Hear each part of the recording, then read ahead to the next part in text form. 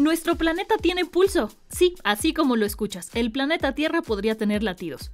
Esta teoría se ha estado estudiando durante los últimos años y según un estudio publicado por Geoscience Frontiers, la actividad geológica de la Tierra tiene un ciclo de 27.5 millones de años.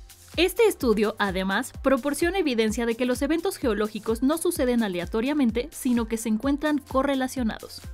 Tras recopilar registros de los principales eventos geológicos que han sucedido durante los últimos 260 millones de años, científicos descubrieron que estos se agrupan en 10 puntos de tiempo, todos separados por 27.5 millones de años.